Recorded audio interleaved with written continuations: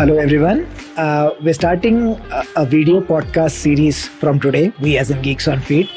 And we're extremely honored to have Murli Gavit, um, a national level Indian track athlete, with us as our first guest. Welcome, Murli. Thank you, sir. Um, this is a series that we're going to do more often. Um, and I'll give you the details a little later. But uh, right now, on to the conversation with Murli. Murli, आपका स्वागत है इस show Thank you, sir. So I have to give a brief introduction of Murli. Murli represents uh, Murli is an Indi- national level athlete who specializes in the 5000 and the 10000 meter distances. His personal best in the 5000 meters is the is 13 minutes 48 seconds and for the 10000 meters it's 28 minutes and 38 seconds. More importantly, recently Murli uh, won the TCS World 10K in the Indian uh, elite category with a time of 29 minutes and 58 seconds. So, how easy or difficult is it to be an elite athlete in the Indian context?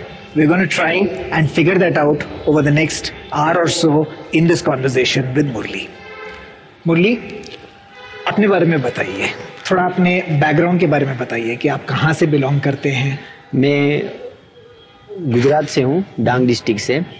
और मेरा normal वहाँ पे जंगल से गाँव है जो tribal area है पूरा। अच्छा। वहाँ से हूँ मैं। मैं 2014 में एक खेल महाकुंभ के थ्रू जो गुजरात गवर्नमेंट के थ्रू एक खेल महाकुंभ होता है उसके थ्रू मैंने स्पोर्ट्स स्टार्ट किया था। और उसके पहले मैं भी एक साल पहले 2013 में जैसे कोई पुलिस के लिए आर्मी के लिए उसकी ट्रेनिंग के लिए उसके भर्ती के लिए मैं तैयारी करता था। पर 2014 से जब खेल महाकुंभ स्टार्ट हुआ तो मैं स्पोर्ट्स में मुझे लगा कि मैं थोड़ा कर सकता हूँ। तो वहाँ से मैंने स्पोर्ट्स स्टार्ट किया। पर इतना भी वहाँ नॉलेज नहीं था। रियल स्पोर्ट्स मेरा 2015 से स्टार्ट हुआ था। जिसमें ईडीआरपी के EDRP एक ग्रुप बना था जो भोपाल में था। उससे मैंने स्टार्ट किया था अच्छे से। अच्छा। घर में कौन कौन है? घर में हम मम्मी पापा है मेरे और थ्री ब्रदर्स है। तीन भाई तीन भाई। तो- मैं सबसे छोटा हूँ अच्छा। मेरे अच्छा। से दो बड़े हैं। जो मेरे से बड़े हैं वो भाई अभी आर्मी में है। अच्छा। आर्मी में है और जो जो बड़ा भाई है वो घर पे ही रहते हैं। वो घर पे है? अच्छा मम्मी पापा का हेल्प करता है पापा का तो अभी आप टी सी एस टेन के जीते थे ये कोई छोटी बात नहीं है। काफ़ी मतलब एक इंडियन एथलीट के लिए। ऐसे परफॉर्म करना और विन करना बहुत ही बड़ी बात है। तो घर वालों ने क्या बोला? घर वाले खुश हैं। जब मैंने उनको बताया कि मैं इतना इतना प्राइज मनी जीता हूँ या ऐसे तो वो लोग खुश हो गए। लाइफ में फ़र्स्ट टाइम इतना प्राइज मनी जीता तो वो लोग को बहुत हैप्पीनेस लगा। अच्छा तो ये आपका मतलब अभी तक जित, जितने भी आपने प्रतियोगिताओं में भाग लिया है ये सबसे ज़्यादा प्राइज मनी आपने टी सी एस टेन के में टी सी एस टेन के में जो रोड रेसिस है। उसमें मैंने फ़र्स्ट टाइम इतना प्राइज जीता है। First time prize road races तो आप बता रहे थे 2014-15 के आसपास आपने जो है रनिंग को एक्टिवली देखना शुरू किया। लेकिन आपको कब लगा कि यार ये एक स्पोर्ट है जो मैं एक करियर बना सकता हूँ इसमें? ये ये ये विश्वास आपको कब आया? जैसे सर मैं 2012 2013 के उस टाइम तो मैं काम पे जाता था जैसे कोई मजदूरी का काम रहता था अच्छा। उसमें हम लोग काम पे जाते थे तो उसमें बहुत ज़्यादा काम करना पड़ता था। अच्छा। और उसके बाद पढ़ाई भी करते थे पर काम भी करना पड़ता था जैसे उसमें पर डे का वन थर्टी रुपीज़ ऐसे देते थे सुबह से लेकर शाम तक काम करते थे जैसे कोई रोड बनाते हैं उसमें या हर जगह ऐसे या घर से दूसरी जगह भी काम करने के लिए ऐसे जाते थे हम लोग। तो उसमें बहुत ज़्यादा स्ट्रगल लग रहा था मुझे। अच्छा। बाद में जब मैंने रनिंग स्टार्ट किया तो जो खेल महाकुंभ में मैं फ़र्स्ट टाइम जीता था उसमें मैंने five thousand five thousand five thousand rupees जीते थे। अच्छा। उस दिन मुझे लगा कि मैं इसमें और मेहनत कर सकता हूँ और इसमें आगे जाके कुछ अच्छा हो सकता है मुझे। तो इसी हिसाब से मैंने रनिंग में ज़्यादा इंटरेस्ट रखा। अच्छा बहुत बढ़िया। और अभी अ, हम अपने ऑडियंस के लिए भी बताना चाहते हैं कि अभी आप बैंगलोर में हैं। साई के कैंप में हैं बेसिकली वहीं पे रहते हैं और नेशनल एथलीट्स के साथ ट्रेन करते हैं है ना? हाँ सर। अच्छा तो साई के कैंप में थोड़ा अटेंशन वहाँ शिफ्ट करते हैं। आपका एक पर्टिकुलर दिन जो है जैसे एक मतलब एक दिन आपका कैसे लगता है? सुबह उठने से रात के सोने तक आपका शेड्यूल कैसा रहता है? उसमें शेड्यूल ऐसा रहता है सर कि मॉर्निंग में फाइव ओ उठ जाना पड़ता है। अच्छा। क्योंकि सिक्स ओ हम लोग का ट्रेनिंग से टाइम टाइम ट्रेनिंग टाइम रहता है। हाँ। तो फाइव ओ उठ के जो भी रहता है वो पूरा फ्रेश होके या ऐसे योगा करके ऐसे करके फिर ट्रेनिंग के लिए छः बजे ग्राउंड पे जाना पड़ता है। ग्राउंड ग्राउंड पे जाने के बाद ट्रेनिंग करते हैं जो भी ट्रेनिंग कोच डिसाइड करते हैं कोच जो साई के कैंप के कोच हैं वो डिसाइड करते हैं। फिर उसी हिसाब से ट्रेनिंग करते हैं। और ट्रेनिंग करने के बाद eight thirty nine o'clock आके ब्रेकफास्ट मिल जाता है हम लोग को। अच्छा मिल जाता ब्रेकफास्ट करते हैं फिर nine thirty ten o'clock तक ब्रेकफास्ट करके फ्री हो गए टेन टेन ओ क्लॉक फिर से स्लीप रहता है अच्छा। रेस्ट के लिए सोने के लिए। फिर ट्वेल्व थर्टी या वन ओ क्लॉक फिर से वेकअप कर लेते हैं फिर जाके लंच करते हैं। लंच करने के बाद कुछ कपड़े धोने रहेंगे या कुछ ऐसे पढ़ाई का कुछ रहेगा वो करते हैं। फिर से four thirty four thirty five clock हम लोग का ट्रेनिंग शेड्यूल रहता है फिर अच्छा। ट्रेनिंग ट्रेनिंग जाते हैं। फिर ट्रेनिंग करके सिक्स थर्टी ऐसे रिटर्न आते हैं। फिर आके फ्रेश होके फिर सेवन थर्टी से लंच स्टार्ट हो जा डिनर स्टार्ट हो जाता है। डिनर स्टार्ट हो जाता है। फिर डिनर स्टार्ट करके डिनर पूरा करके नाइन ओ फिर से स्लीपिंग का टाइम हो जाता अच्छा है सो Nine- सुबह पाँच बजे से लेकर रात के नौ बजे तक का आपका दिनचर्या रहता है रहता। और इसमें आप कम से कम दो या तीन बार ट्रेन करते हो एक दिन में। जी जी सर अच्छा। अच्छा और ये हालाँकि इस चीज़ को हम थोड़ा आगे और लेंगे लेकिन फिर भी मैं ये सवाल यहाँ पूछना चाहता हूँ। आप बता रहे थे कि साई में कुछ कोचेस हैं लेकिन आपके जो कोच है ह्यूगो वो वहाँ पे केनिया में है ठीक है ना? हम आगे बात करेंगे उसके बारे में। लेकिन मैं ये समझना चाहता था कि आप बोल रहे थे सुबह ये वाले कोच भी शेड्यूल देते तो आप इनका भी फॉलो करते हैं और उनका भी फॉलो करते हैं? अभी लास्ट टू मंथ से तो मेरा टू थ्री मंथ से तो मेरा यहाँ जब साई में कैंप था हम्म, कैंप है तो उसी में वो ट्रेनिंग उन लोग के हिसाब से चलते पर पूरा सजेस्ट मुझे वो जो हुगो सर है हाँ। मेरे कोच है वही करते हैं पूरा सजेस्ट अच्छा।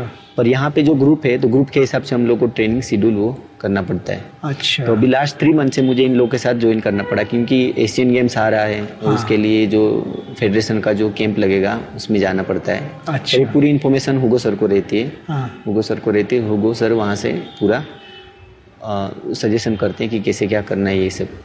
तो हुगो सर और जो आपके यहाँ पे साई में जो कोचेस हैं वो आपस में बात करते हैं एक दूसरे से? हाँ सर अच्छा तो मतलब पूरा कोऑर्डिनेशन रहता है उन दोनों Coordination के रहता है, तो this is something that I just wanted to bring out here as an elite athlete he already has a coach in Kenya called Hugo right he's the main coach but since he's also going to represent India or he's going to you know uh, represent India at the Asian Games or is aiming to qualify for the Asian Games he has to follow a daily schedule that is given by the national coaches here at SAI बहुत ही interesting सा ये एक combination हमको देखने को मिलता है amateur level में इतना रहता नहीं है तो हम लोगों के लिए ये सब बहुत ही एक अलग सा नज़रिया है हम हम। अलग तरीके से देखते हैं इसको अच्छा बात करते हैं आपके वीकली शेड्यूल की। तो आप कितना माइलेज भागते हो एक हफ़्ते में? माइलेज सर जैसे सीज़न के हिसाब से रहता है कंपटीशन पीरियड रहेगा तो कंपटीशन पीरियड या ऑफ़ सीज़न रहेगा तो ऑफ़ सीज़न में हम लोग का 160 170 पे चले जाता है। ऑफ़ सीज़न में 160 टू 170 भागते हैं? 170 पे हफ़्ते में 160 टू 170 किलोमीटर भागते हैं? हाँ, सर। बहुत बढ़िया अच्छा। और उसमें भी हम लोग का संडे भी रेस्ट नहीं रहता मॉर्निंग में। मॉर्निंग में कभी रेस्ट ही नहीं रहता। संडे अच्छा। भी हम लोग का 32 किलोमीटर 30 किलोमीटर ऐसे रहता है लॉन्ग रनिंग के लिए। अच्छा। और पूरा पूरा वीक शेड्यूल पे ही ऑफ़ सीज़न से लेके पूरा उसी में चलता है जब कंपटीशन पीरियड आता है हाँ। तब 140 130 ऐसे थोड़ा डाउन होते हैं अच्छा। क्योंकि 10000 मीटर है 5000 मीटर है माइलेज भी ज़रूरी होता है उसमें हाँ, हाँ, इसके हाँ, लिए तो अगर हम एक साल का वो लें अगर एक पूरे साल का शेड्यूल देखें तो ऑफ़ सीज़न कितना रहता है और आपका जो कॉम्पिटिटिव ट्रेनिंग ट्रेनिंग का जो सीज़न रहता है वो कितना रहता है? वो ऐसे रहते से कंपटीशन जो रहता है मेन कंपटीशन हम लोगों ने टारगेट किया है कि आज से पाँच पाँच महीने के बाद है या चार महीने के बाद है। अच्छा। तो उस हिसाब से पहले हम लोग को आज मतलब दो महीना पहले ऑफ़ सीज़न पे करना पड़ेगा। जैसे अच्छा फोर मंथ बिफोर दो महीना वो करना पड़ेगा ऑफ़ सीज़न पे ज़्यादा माइलेज करना पड़ेगा लॉन्ग रनिंग या जिम या ये सब करना पड़ेगा स्ट्रेंथ वगैरह। जैसे कंपटीशन को 45 डेज़ बच जाएँगे हम्म। फिर स्पीड वर्कआउट स्टार्ट होगा। तो जो लोड होगा वो कम करेंगे माइलेज थोड़ा कम करेंगे और स्पीड पे ज़्यादा फोकस करेंगे ताकि अच्छा। बॉडी स्पीड पे एडोप्टेड हो। जब कंपटीशन आ जाएगा तब माइलेज बहुत ही कम कर देते हैं और स्पीड पे 100 परसेंट फोकस करके कंपटीशन भागते हैं। अच्छा तो अगर मैं ठीक तरीके से समझ रहा हूँ तो ऑफ़ सीज़न जो है एक तरीके का बेस बिल्डिंग हो जाता है जहाँ पे कि आप माइलेज पे ज़्यादा ध्यान देते हो। इंटेंसिटी उतनी नहीं रहती है। ठीक है ना? हाँ, लेकिन जैसे जैसे आप कंपटीशन के पास आते हो आपकी इंटेंसिटी बढ़ जाती है लेकिन माइलेज कम हो माइलेज कम है हो। जाता है। अच्छा लेकिन अच्छा इसमें आपने एक और बड़ी इंटरेस्टिंग चीज़ बताई। सात दिनों में एक भी दिन ऐसा नहीं होता कि हम कुछ भी नहीं करते उस दिन। बस टांग जो है ऊपर टांग लेते हैं और आराम करते हैं। ऐसा एक दिन नहीं होता। संडे इवनिंग में रेस्ट हो गया अच्छा। सैटरडे इवनिंग में रेस्ट हो गया बस। बाकी मॉर्निंग में कभी रेस्ट नहीं है। अच्छा सातों दिन कुछ ना कुछ रहता है रहता है। हाँ सर। अच्छा और बट बट आपको कभी कभी लगता नहीं है कि यार आज मैं थोड़ा ऑफ़ ले लूँ या आज ब्रेक ले लूँ? ऐसा आपको कभी लगता नहीं है? ऐसे तो रहता है एथलीट के माइंड में बट जब कोई बड़ा कंपटीशन जीतेंगे तभी रेस्ट करेंगे ऐसे मन में भी वो भी रहता है। कि एक मैं बड़ा कंपटीशन बड़ा कुछ अचीवमेंट कर लूँगा उसके बाद रेस्ट करूँगा थोड़ा तो वही माइंड में रहता है। जिस दिन अच्छा। में जीत गया उस दिन में रेस्ट करूँगा ऐसे करके। बहुत बढ़िया बहुत बढ़िया। और ये काफ़ी अगेन मेरे को बहुत इंटरेस्टिंग लगा कि आपको इतना भागना पड़ता है। ऑफ़ सीज़न आप ऑलमोस्ट 160 टू 170 तक जाते हो और इन सीज़न जो है आप ऑलमोस्ट 120 से लेके 140 तक जाते हो। जी, जी। तो बॉडी को उतना हाई माइलेज सपोर्ट भी तो करना होता है ना? हाँ। तो उसके लिए आपका स्ट्रेंथ एंड कंडीशनिंग शेड्यूल कैसा रहता है? वैसे सर हर चीज़ लेके चीज़ के लिए तो ये है कि रिकवर बॉडी होना बहुत ज़रूरी होता है। इतना माइलेज सही ना मतलब आप अगर अच्छे से टाइम टू टाइम स्लीप करते हो डाइट अगर अच्छा है आपका और आज के डेट में तो सप्लीमेंट्री भी बहुत अच्छी आ गई है। अगर अच्छी सप्लीमेंट्री है तो आप उसको और ज़्यादा सपोर्ट से कर सकते हैं।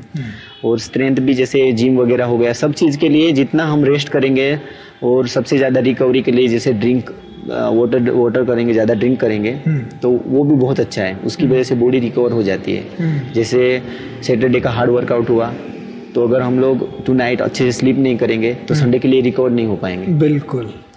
बट अच्छे से अगर स्लीप किया टाइम टेबल के हिसाब से तो संडे के लिए हम लोग फिर से वो सेशन के लिए रेडी रहते हैं। अच्छा। इसीलिए कोई भी एथलीट ज़्यादा उस पर टाइम वेस्ट नहीं करता रिकवरी पे ज़्यादा ध्यान ध्यान देते हैं। अच्छा तो आप कह रहे हो कि रिकवरी बहुत इंपॉर्टेंट है। And I think this is a fantastic point he makes where amateur athletes like us can learn from the elites sleep is such an important thing and you know Murli is as we keep keep speaking I think in the last you know couple of seconds he stressed on recovery at least five times so those of you who you know not catching up on sleep here's here's this you know it, it comes out of the horse's mouth an elite is telling you that you really need to catch up on your sleep.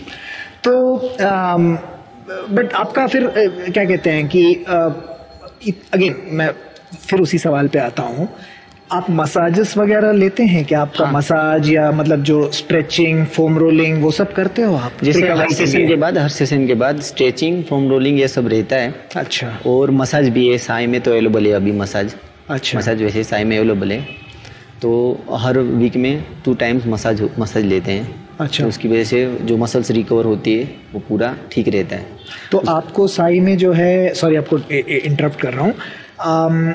आपके मैसवर्स हैं साई में जो हाँ। आके आप, आपको properly हफ़्ते में दो बार जो है मसाज मसाज मसाज करते हैं जो अच्छा, साई में है अच्छा, वो। उसके पहले जब मैं बाहर रूम लेके रहता था हाँ हाँ। जैसे साई में कैम कैम नहीं लगा था उसके पहले रूम लेके रहता था तो जैसे कहीं बाहर लड़के कोई मसाजर रहते हैं उनको पे करके भी मसाज तो लेना ही पड़ता था हमें। मसाज? क्योंकि मसाज बहुत इंपॉर्टेंट है तो लेग्स में या कहीं बॉडी में इंजरी होती है उसके चांसेस बहुत ज़्यादा रहते हैं अगर विदाउट मसाज के करते हैं। हाँ तो मसाज काफ़ी इम्पोर्टेंट हो जाता है उनके लिए।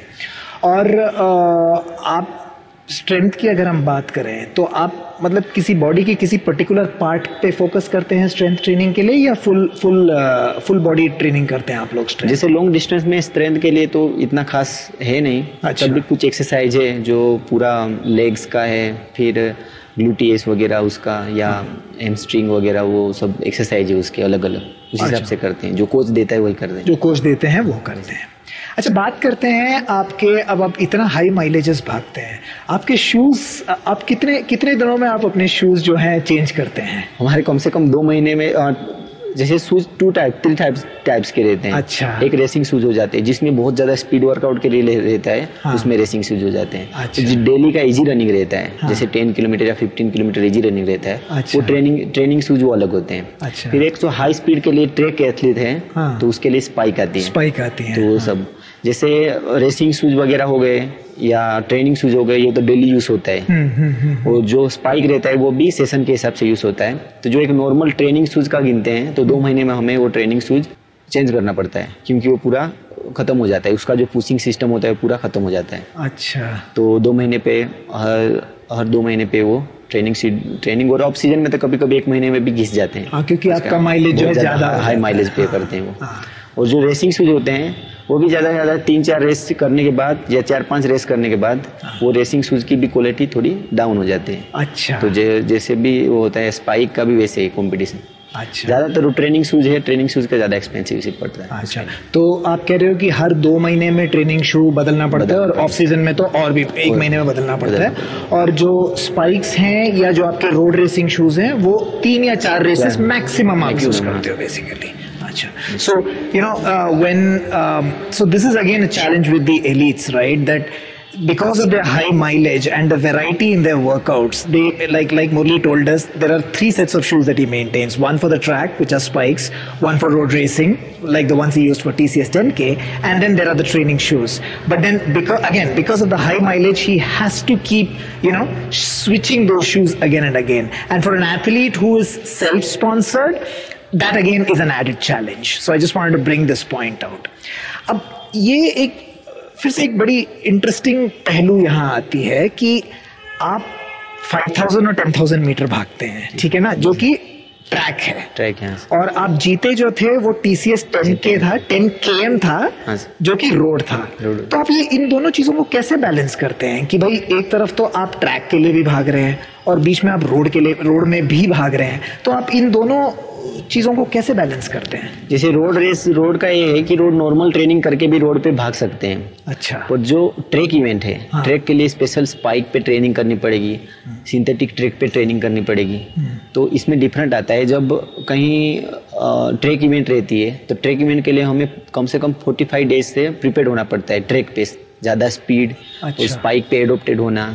क्योंकि कई बार स्पाइक की वजह से काप्स मसल्स और उसमें इंजरी होती है। अगर अच्छा। डायरेक्ट हम ऐसे ही लगा दिए बिना ट्रेनिंग के तो हम्म। तो जैसे रोड रेसिस है रोड रेसिस तो कहीं पे भी ट्रेनिंग करके रोड रेसिस मैनेज हो जाता है हम्म।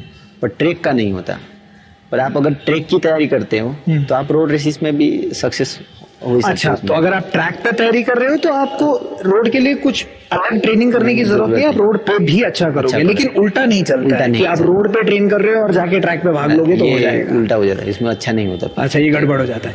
तो आपको ट्रैक और रोड के भी वैसे तो खैर मेरे को जवाब थोड़ा अंदाज़ा आ रहा है लेकिन फिर भी मैं पूछना चाहता हूँ अपने ऑडियंस के लिए। आपको ट्रैक और रोड के बीच में अच्छा क्या लगता है? अच्छा तो ये है ये है कि सर ट्रैक पे ट्रैक में कोई बड़े गेम है बड़ी गेम है। जैसे ट्रैक में एशियन गेम्स हो गया हाँ। एशियन चैंपियनशिप कॉमनवेल्थ हो गया। हाँ। ये ट्रैक में ज़्यादा है। अच्छा। जैसे रोड में हम लोग को अगर रोड पे भागना है तो उसमें 42 किलोमीटर करना पड़ेगा। हाँ। 42 से नीचे कोई है नहीं। हाँ। इंटरनेशनल लेवल पे सबसे हाँ, ज़्यादा। और दूसरे भी वर्ल्ड में बहुत बड़े बड़े मैराथन वगैरह होती है उसमें ज़्यादातर फुल मैराथन 42 किलोमीटर ही होता है। हम्म। या हाफ़ मैराथन 21 किलोमीटर होता है। हम्म, और उसमें वर्ल्ड में अफ्रीकन बहुत एथलीट है सब उसमें बहुत टफ रहता है। तो ट्रैक से ट्रैक से सबसे ज़्यादा जॉब मिलना अपने इंडिया में जॉब भी हम्म। वो मिल जाता है उससे ट्रैक से। इसलिए ट्रैक ज़्यादा इम्पोर्टेंट है। अच्छा तो आप कह रहे हो कि इंडिया में जो एक तरीके के जॉब अपॉर्चुनिटीज़ भी हैं एक एथलीट के लिए एथलीट के लिए। वो ट्रैक से ज़्यादा बनता है रोड से उतना बनता नहीं है क्योंकि रोड में इंटरनेशनली कंपटीशन बहुत कॉम्पिटिशन ज़्यादा है अच्छा अच्छा अच्छा अच्छा। बढ़िया बढ़िया। और अब अब आप बात कर ही रहे हैं तो थोड़ा उस तरफ़ भी चलते हैं थोड़ा। आप अफ्रीका में भी ट्रेन करते हैं आप केनिया में ट्रेन करते हैं है ना। कि आप अ, छह से आठ महीने रहते हैं वहाँ पे क्योंकि आपके कोच अच्छा अ, अब मैंने आपके कोच के बारे में अभी पूछा नहीं अभी मतलब मेंशन किया था लेकिन अब थोड़ा और बात करेंगे। तो just for the audience knowledge Murli trains with Hugo Vanderbroek who's based out of Kenya, right? He's his primary coach, and as a part of that, he spends some amount, or in fact, a good amount of his training cycle in Kenya, running, living and running in Kenya. तो Kenya के बारे में बात करते हैं तो आपको आपका केनिया एक्सपीरियंस कैसा रहा केनिया सर 2015 में जो ईडीआरपी ग्रुप था उसके थ्रू हम लोग को वन मंथ के लिए लेके गए थे वहाँ पे अच्छा। और। कोच भी हुगो सर यहीं पे ईडीआरपी ग्रुप का ही कोच था अच्छा तो वहाँ पे गए थे वन मंथ के लिए तो वन मंथ के बाद में मैं देख के आया वहाँ से। फिर मुझे कुछ गुजरात गवर्नमेंट ने इसे सपोर्ट किया। अच्छा। गुजरात गवर्नमेंट ने सपोर्ट किया। जब नेशनल में मेडल दिया तो उन्होंने मुझे कुछ फाइव लाख इसे सपोर्ट किया। शक्ति अच्छा। स्कीम के थ्रू उन्होंने मुझे सपोर्ट किया। तो फिर मैं सोचा वो पैसे सही डायरेक्शन में यूज़ करूँगा तो अच्छा रहेगा। हम्म। फिर फिर मैं 2017 से हर साल वहाँ पे एट मंथ के ट्रेनिंग के लिए वहाँ चला जाता था। तो वहाँ के एथलीट और यहाँ के एथलीट में है कि वहाँ के ग्रुप ज़्यादा स्ट्रोंग है हाँ। वहाँ पे ट्रेनिंग करने के लिए और वो हाई एल्टीट्यूड एरिया है। हाँ। और वहाँ पे रनिंग के लिए जो कच्चे कच्चे रास्ते हैं हाँ।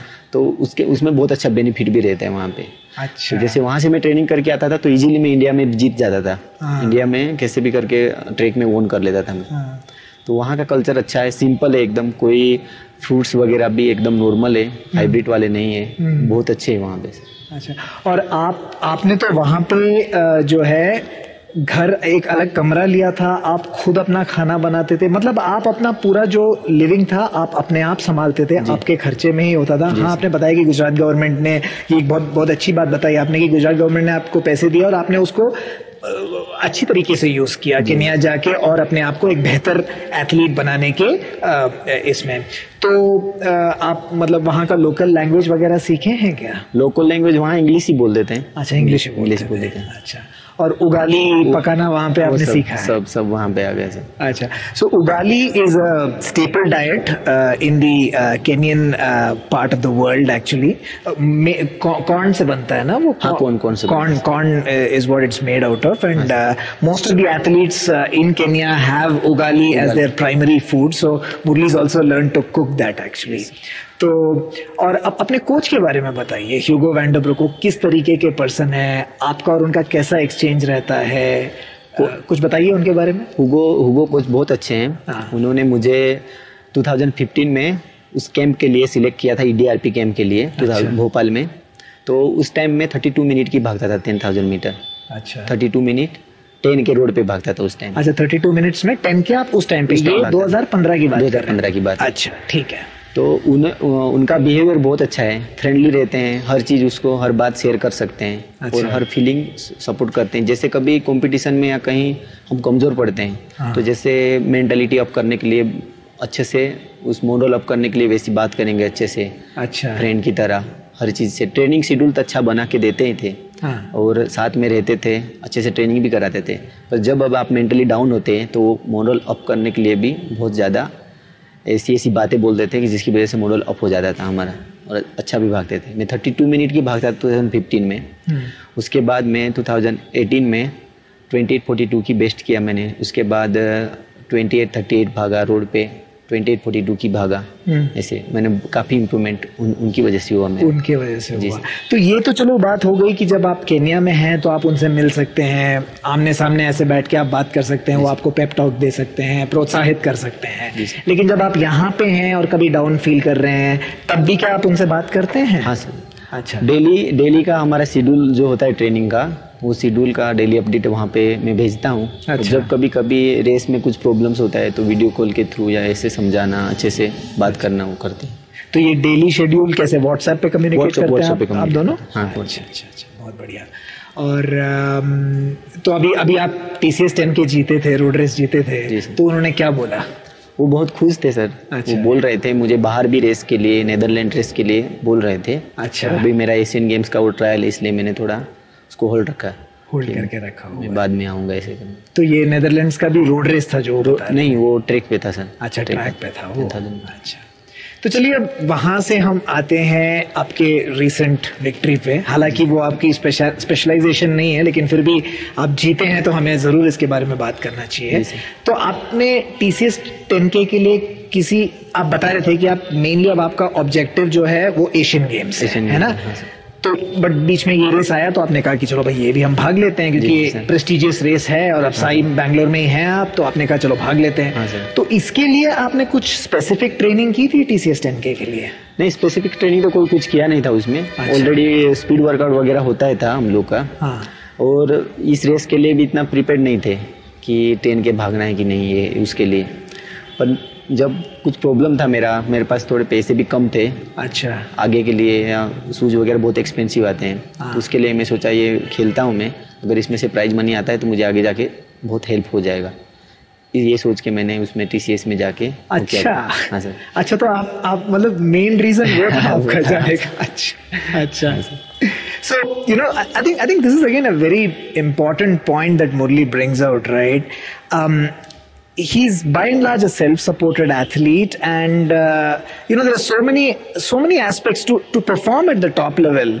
There are so many aspects to it. He has to go to Kenya. He has a coach in Kenya right he has to go to Kenya to spend about six to eight months over there, and then there are all his expenses in terms of his shoes and all. So he he just told us that the main reason why he ran TCS 10K was that you know if he wins, the prize money is something that he can judiciously use over the next six to eight months to you know buy shoes for himself, which will be handy at let us say the trials for the Asian Games, and if he gets selected at the Asian Games. So I think this is something that you know uh, we we as athletes, as amateur athletes, should be aware of that how difficult it is for an elite athlete who is self-sponsored to sustain uh, his his or her own performance, basically.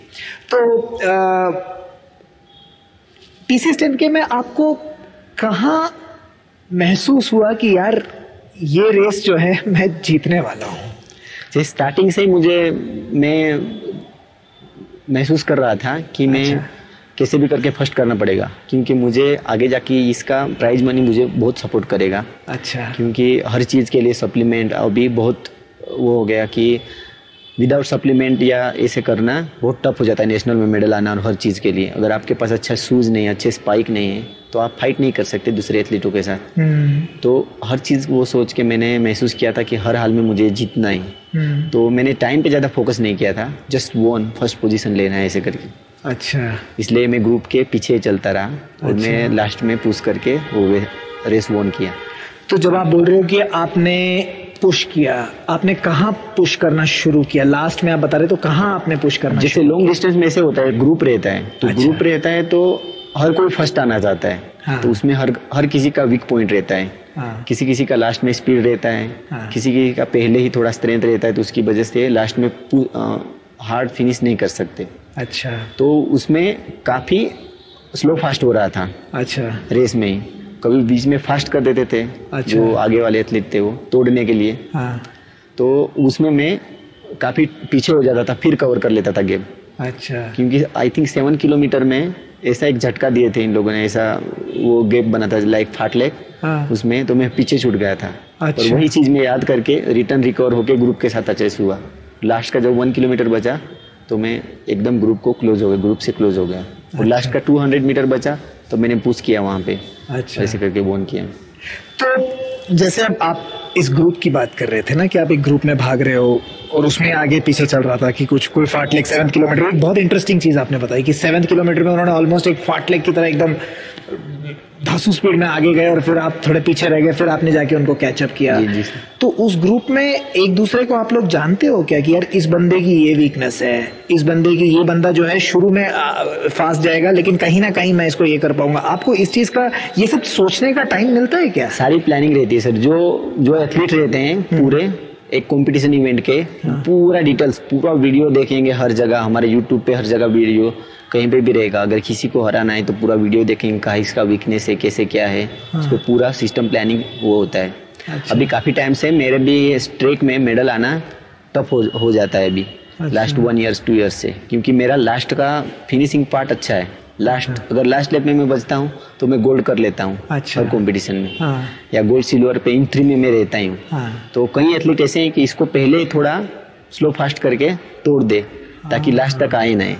तो उसमें हर जगह planning रहती है। यहाँ पर भी उन लोगों ने प्लानिंग की पर मैं मेंटली अच्छा प्रिपेयर था और बॉडी भी अच्छी सपोर्ट की हम्म। तो मैं साथ लास्ट तक चलते रहा उनके साथ। चलते रहे और फिर लास्ट में तो आपका स्ट्रेंथ है कि जो हाँ। आप किक कर सकते हो जो फाइनल किक होता है उसमें आप, वो आपकी स्पेशलाइजेशन है वो आपका स्ट्रेंथ है बेसिकली हाँ सर अच्छा आपने एक बहुत अच्छी बहुत ही इम्पोर्टेंट महत्वपूर्ण बात बताई यहाँ पे कि मेंटली प्रिपेयर्ड रहना। तो आप देखो ये माइलेज ये सब तो ठीक है कि ये तो ये तो आप करते ही करते हो। जी, जी। रोज रोज करते हो। मेंटली आप अपने आप को एकदम टॉप में कैसे रखते हो? मेंटली आप अपने आप को ट्रेनिंग वेनिंग करते हो उसके लिए? योगा वगैरह करते हो? क्या करते हो योगा तो करते हैं सर योगा मॉर्निंग में उठ के करते हैं। हम्म। पर वही एक माइंड में ये बैठता है कि इसके सिवा मेरे पास कुछ है भी नहीं। एक रनिंग है। अगर ये ऑन करूँगा तभी मेरा चलेगा सब। नहीं तो मेरा कुछ होगा नहीं। तो उसकी वजह से मेंटली प्रिपेयर तो होना ही पड़ता है। अगर तब भी माइंड इधर उधर जाता है तब भी वही डायरेक्शन में जाएगा माइंड क्योंकि इसके सिवा मेरे पास दूसरा कुछ है नहीं। चलो अभी मेरा काफ़ी नेशनल मेडल भी है कि कुछ एजुकेशन की वजह से मेरा एजुकेशन कंप्लीट नहीं था ग्रेजुएशन वगैरह। अच्छा। उसकी वजह से मेरा जॉब भी अभी मेरा जॉब भी नहीं है। तो जो मैं कहीं पर भी जीतता हूँ या कुछ प्राइज मनी आता है वही घर पर भी चलता है मेरे। हाँ। मम्मी पापा को भी देता हूँ। फिर मेरा भी जो खर्चा होता है बहुत ज़्यादा एक्सपेंसिव होता है। उसमें मुझे गुजरात गवर्नमेंट इन लोगों ने भी बहुत सपोर्ट किया था। फिर यहाँ बेंगलोर से एक बार यहाँ से भी बहुत अच्छा सपोर्ट मिला है। हम्म, हम्म, हम्म, तो वैसे उसके लिए मुझे मेंटली प्रिपेयर तो हंड्रेड परसेंट रहना ही पड़ता है क्योंकि अगर नहीं होंगे हम्म। तो आगे जाके फिर और मुश्किल हो जाएगा हमारे लिए। अच्छा बहुत बढ़िया। बहुत ही बहुत ही अच्छी बात बताई आपने कि यही सब कुछ है आपके लिए है ना? ये आपकी आपकी जो पूरी लाइफ है वो रनिंग के अराउंड ही है बेसिकली तो इसके लिए तो जो भी लगता है वो तो लगता ही लगता है. वो मेंटली हो फिजिकली हो इमोशनली हो. कभी ये चीज़ आता है कि यार अब आपको लग रहा है कि यार मैं गोल्ड नहीं जीत सकता यहाँ पे ठीक है ना? तो यार चलो सिल्वर के लिए सेटल हो जाता हूँ ब्रॉन्ज के लिए सेटल हो जाता हूँ. ऐसा कभी होता है क्या? ऐसे मैं काफ़ी 2017 2000 2017 से हाँ। ज़्यादातर मेरा हर कंपटीशन में अगर मैं वन के पोजीशन पे हूँ हाँ। इन थ्री में तो फ़र्स्ट ही किया हूँ मैं अच्छा। उसमें। तब भी कहीं हार्ड रहता है तो जो भी मेडल आता है वो एक्सेप्शन रहता है। अच्छा। कि अगर हमसे कहीं हार्ड एथलीट है ज़्यादा टॉप लेवल के एथलीट है और उनसे हम लोग फाइट नहीं कर सकते और ज़्यादा लीड पे है हाँ। तो कवर नहीं होती लीड कभी। अच्छा। पर अगर साथ में लास्ट लास्ट 200 मीटर में या 400 मीटर में लास्ट में साथ में है, हाँ तो तो गोल्ड पे उनके आगे जाने का ज़्यादा रहता है। अच्छा। वो जो लास्ट की स्पीड है हाँ। वो अच्छी आ जाती है मेरी उस पे। अच्छा। बहुत इंटरेस्टिंग बहुत ही मतलब लग रहा था क्योंकि मेरा अगला सवाल भी इसी से जुड़ा हुआ है। ये तो हम बात कर रहे थे भाई बैंगलोर में इंडियन एलिट्स के साथ आपके अपने इसमें कंपटीशन जब आप इंटरनेशनल एथलीट से कम्पीट करते हो है ना जब आप केनिया में अ, केनिया अच्छा केनिया जब आप जाते हो तो वहाँ पे भी इवेंट्स वगैरह करते हो क्या? नहीं वहाँ ओनली ट्रेनिंग के लिए जाते सिर्फ़ ट्रेनिंग वहाँ पे कोई इवेंट्स में पार्टिसिपेट नहीं नहीं करते। लेकिन अगर चलो ऐसे जब जब जैसे एशियन गेम्स के लिए चले गए ठीक है ना? तो जब इंटरनेशनल कंपटीशन आता है तो इंडियन कंपटीशन और इंटरनेशनल कंपटीशन में क्या फ़र्क रहता है? इंटरनेशनल कंपटीशन में यही जो अफ्रीकन एथलीट है हम्म। वो ज़्यादा टफ रहता है। हम्म। हर चीज़ से टाइमिंग से लेके हमारी कैटेगरी से लेके थोड़ा आगे हैं हम लोगों से। अच्छा। हम अभी है तो हमारे दस कदम आगे हैं वो लोग। तो उनको कैच करने की कोशिश करते हैं कि लास्ट तक चले जाए कि हमारा हमारा जो जो टाइमिंग है वो भी अच्छा आ जाए या कुछ पोजीशन भी उसमें आ जाए तो अच्छा है। जो भी रहेगा वो एक्सेप्शन रहते हैं। फाइट करने की पूरा कोशिश करते हैं उनके साथ भी। जितना हो सके उतना। हम्म। तो ये अब देखो तीन चार साल पहले तक शायद इतना नहीं था। नहीं था। ठीक है ना? अभी अविनाश साबले ने कॉमनवेल्थ गेम्स में वो उन दोनों के साथ गया ठीक है ना? और उसने हराया। और अब आप मैं आपसे भी बात कर रहा हूँ तो आप बोल रहे हो कि अब आपके अंदर वो एक आत्मविश्वास आ गया है कि यार हराना नहीं हराना वो अलग बात है। हारेंगे हराएँगे वो अलग बात है लेकिन हम इनके साथ इनको टक्कर देंगे टक्कर देंगे। है ना? तो आपको क्या लगता है कि ये जो आप लोगों में आप में है अविनाश में है जो आजकल के एथलीट्स में जो एक कॉन्फिडेंस आ गया है कि यार दुनिया में जो टॉप से टॉप एथलीट है उनसे हम लड़ेंगे। बेशक हारे वो अलग बात है लेकिन हम ऐसे एकदम क्या कहते हैं घुटना नहीं टेक देंगे। हम लड़ेंगे और फिर हारेंगे हारेंगे जीतेंगे जीतेंगे। जी। तो आपको क्या लगता है कि माइंडसेट ये ये ये चीज़ ये बदलाव कैसे आया है? ये सर ऐसा ही कि काफ़ी टाइम से इंडिया का जो वर्ल्ड लेवल पे एथलेटिक्स में रनिंग में और स्पेशली लॉन्ग डिस्टेंस से तो इतना कुछ परफॉर्मेंस वर्ल्ड लेवल पे था नहीं। तो अविनाश सर ने थोड़ा कॉमनवेल्थ में और ओलंपिक्स में हर जगह थोड़ा लॉन्ग डिस्टेंस का बहुत नाम किया है बॉयज़ की तरफ़ से अच्छा। बहुत अच्छे से। और वो फाइट भी करते हैं। हम्म। क्योंकि एक वो है कि लास्ट तक जाना ही उनके साथ कैसे भी करके करना ही है। इन लोग के साथ ही जाना है हम्म। छोड़ना नहीं है। हम्म, तो उनकी वजह से हम लोग को भी अच्छा लगता है कि हम भी कर सकते हैं अच्छे से अच्छा। अविनाश सर के साथ। और ये जो अब अब अब आप केनिया में भी टाइम बिताते हो इस चीज़ का भी फ़ायदा होता है इसमें? इस चीज़ से हाँ इसी, चीज़ का इसीलिए मैं ट्रेनिंग केनिया के लिए केनिया के लिए जाता था केनिया में ही कि आगे जाके कुछ इन लोगों से फाइट करने के लिए या वहाँ की क्या ट्रेनिंग सिस्टम है कैसे क्या एथलीट रहते हैं वो सब सीखने के लिए मैं वहाँ ट्रेनिंग के लिए जाता था। अच्छा। बहुत बहुत बढ़िया बहुत बढ़िया। अब बात करते हैं आपके न्यूट्रिशन की। आप मतलब खाना वगैरह कैसे यहाँ पे तो चलो कैंप में अरेंजमेंट हो जाता है लेकिन आप किसी चीज़ का परहेज करते हैं या कभी कभी आपको लगता है यार कि वो आइसक्रीम खाना है या ये मिठाई खानी है या ये खाना है ऐसा कभी आपको मन ललचाता है? जैसे कोई ज़्यादा स्पाइसीज खाना नहीं खाते अच्छा ज़्यादा स्पाइसी ज़्यादा स्पाइसी खाना नहीं खाते या कोई तेल में तली हुई चीज़ या ऐसी वैसे वो चीज़ भी नहीं खाते। हम्म, और जो नॉर्मल रहता है ज़्यादातर बॉयल रहेगा या कम स्पाइसी उसमें डाला रहेगा तो ठीक अच्छा। है और जो स्पोर्ट्स के लिए अच्छा बेनिफिट है हाँ। जिससे कि आयरन युक्त या प्रोटीन युक्त जो भी फ़ूड है हाँ। वो हम लोग खा सक खाते हैं ऐसे नहीं कि कुछ कुछ भी मंगा के खाए और वो उसमें बॉडी में कुछ सपोर्ट ना हो सिर्फ़ अच्छा। उसके लिए तो जो अच्छे से रहता है जो आयरन युक्त या प्रोटीन युक्त जो भी अच्छा फ़ूड रहता है हाँ। वही खाने का वो होता है तो स्विगी जोमेटो वगैरह साइक कैंपस में बैंड है। हाँ? नहीं मंगाता है लड़के को भी खाना रहेगा अदर गेम वाले भी है जैसे हॉकी वाले या ये सब मंगाते हैं। अच्छा। एथलीट पे डिपेंड रहता है सब। अच्छा एथलीट पे। जैसे वीक में एक बार खा लिए इतना ज़्यादा कोई प्रॉब्लम नहीं है। अच्छा। डेली डेली का कुछ वो नहीं। डेली तो नहीं बट वीकली एक, एक आधा बार कभी चल जाता है चल जाता है। अच्छा बहुत बढ़िया। और आगे के बारे में बताइए। आगे ये 2023 का जो सीज़न है आपको क्या क्या क्या प्लान है आपके बेसिकली यही मेन तो एशियन गेम्स है अभी। अच्छा। अभी सितंबर में एशियन गेम्स है। उसका एशियन गेम्स का ट्रायल भी अभी यहाँ पे। उड़ीसा में हो रहा है। अच्छा। फिफ्टीन टू नाइनटीन हाँ। जून में हो रहा है। तो जैसे उसमें अगर क्वालिफाई कर क्वालिफाई करके सिलेक्ट होते हैं हम्म, तो एशियन गेम्स में मेन टारगेट है। क्योंकि एक एशियन गेम ऐसा है जिसमें इंडिया का मेडल आता है। हम्म, और उसमें थोड़ा प्राइज मनी वगैरह भी ठीक रहता है। हम्म, तो एशियन गेम्स का पूरी कोशिश चल रही है। एशियन गेम्स के लिए करेंगे। और फिर 2014 में ओलंपिक्स आ रहा है पेरिस ओलंपिक हम्म। उसके लिए भी पूरी कोशिश है। 2024 का जो पेरिस ओलंपिक्स है उसके लिए भी। हाँ, तो एशियन गेम्स में आप कौन से कैटेगरी में compete करना मैं एशियन गेम्स में ten thousand metre five thousand metre में अच्छा दोनों 10,000 और 5,000 दोनों देख रहे हैं। और पेरिस ओलंपिक के लिए भी वही वही पेरिस ओलंपिक के लिए ट्रैक में अभी बहुत हाई स्टैंडर्ड हो गया है। अच्छा। क्योंकि जो क्वालिफाई टाइमिंग है बहुत हाई स्टैंडर्ड कर दिए हैं। तो अच्छा। कोशिश करेंगे ट्रैक से नहीं होगा। ऐसे लगेगा कि ट्रैक से नहीं कर पाऊँगा मैं तो फिर फुल मैराथन 42 से करेंगे। फुल मैराथन 42 की तरफ़ जाएँगे करेंगे, हाँ सर। अच्छा। आप इससे पहले कभी मैराथन भागे हैं या ये आपका फुल मैराथन नहीं भागे Full marathon हाफ़ भागे हाफ़ मैराथन भागे। अच्छा तो अभी पूरा पूरा जो है अभी आपका अभी आप बोल रहे थे कि भुवनेश्वर में आपके सिलेक्शन है एशियन गेम के हाँ लिए। सर। और एशियन गेम्स जो है वो सितंबर में। सितंबर में है अच्छा बहुत बढ़िया बहुत बढ़िया। और अ, काफ़ी एमेच्योर रनर्स हैं। अभी अब अब तो देख रहे हैं कि इंडिया में जो है रनिंग ग्रुप्स काफ़ी आ गए हैं और पर्टिकुलरली कोविड के बाद जो है काफ़ी लोग जो हैं साइकिलिंग करने लगे हैं रनिंग करने लगे हैं। काफ़ी हेल्थ कॉन्शियस हो गए हैं। जी जी सर। तो उन लोगों के लिए आपका क्या संदेश रहेगा? सर रनिंग ऐसी चीज़ है हर चीज़ में कोई भी गेम हो कुछ भी कर उसके लिए रनिंग बहुत इंपॉर्टेंट है। हमारा बॉडी सिस्टम पूरा रनिंग अगर करेंगे डेली हम लोग अगर फाइव किलोमीटर इजी भी करते हैं या डेली हो सके तो दस किलोमीटर दौड़ना चाहिए डेली हम्म, इजी अच्छा। अपनी बॉडी का जो भी मेडिकल मेडिकल का जो भी खर्चा होता है वो आपका कहीं बच जाएगा और जो जीने की उम्र रहेगी वो और बढ़ जाएगी क्योंकि रनिंग से पूरा हार्ट हार्ट का और हर चीज़ का बहुत अच्छे से फिट रहता है। अच्छा।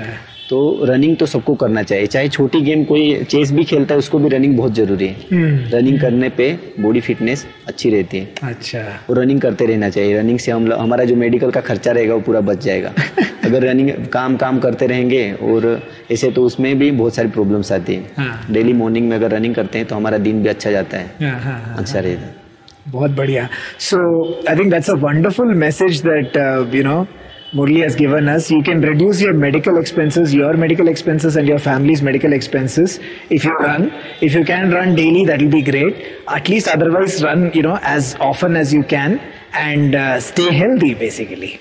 Uh, तो इसी इसी नोट पे मुरली हम आपको ऑल द बेस्ट विश करते हैं Thank you, हाँ, sir. आपके जो ट्रायल आ रहे हैं उसके लिए हमारी हार्दिक अ, शुभकामनाएँ और क्या कहते हैं विशेष हम हम सबके विशेष आपके साथ हैं। थैंक यू और हम तो यही चाहेंगे कि आप एशियन गेम्स के लिए सेलेक्ट हों इंडिया के लिए वहाँ से मेडल लेके आए और फिर और आगे बस बढ़ते ही बढ़ते जाएँ। So I think this is this is a great place way we really want a segue away from the main show I just wanted to highlight one more thing before we wrap it up Um, you just understood that from an elite athlete's perspective, there are so many needs. Uh, Murli spoke about nutrition. He spoke about supplements, basically. He spoke about shoes. He spoke about, you know, his training stints in Kenya. So.